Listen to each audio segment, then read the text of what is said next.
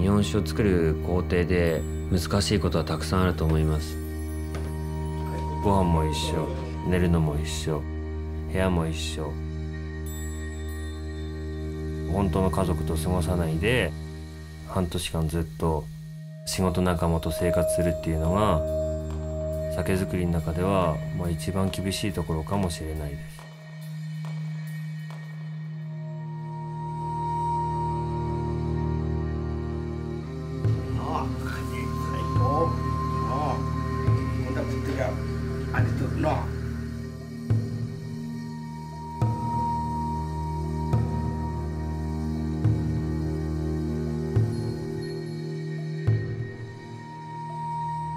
酒造りやっぱり生きたもん。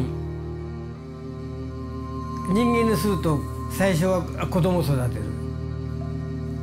だそれをこうだんだん大人を育ててそこで初めて酒になって出てくる。